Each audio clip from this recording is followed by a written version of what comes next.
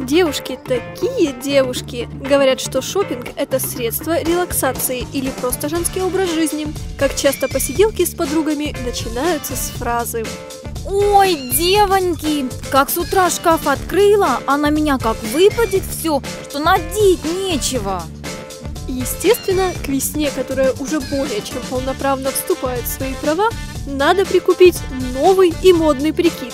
Так что наступает страшное для всех мужчин время шопинга. Что может понадобиться на весну, если нужно менять зимы очень многое? Мы прошлись по центру Симферополя и заглянули в один из магазинов с умеренной ценовой политикой. Конечно, верхняя одежда первоочередно. Сейчас потеплело. Можно позволить надеть не теплый пуховик, а жилетку. Хорошая жилетка несколько спортивного типа пуховая обойдется нам в 2250 рублей.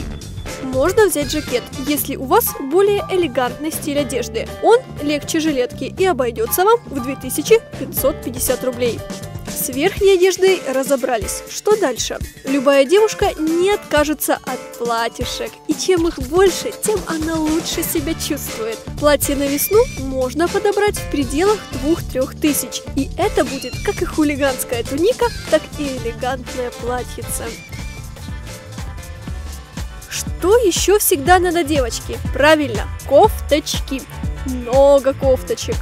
Блузочки, рубашечки, свитерки бывают разные, в зависимости от того, какие вы предпочитаете.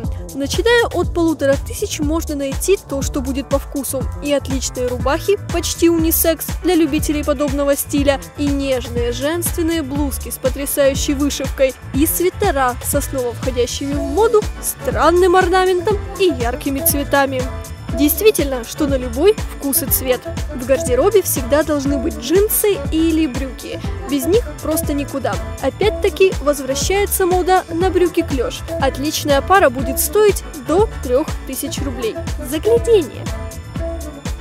Что брать и в каком количестве, это уже дело сугубо каждой девушки. Но в 90% случаев будут куплены все доступные по финансам вещи.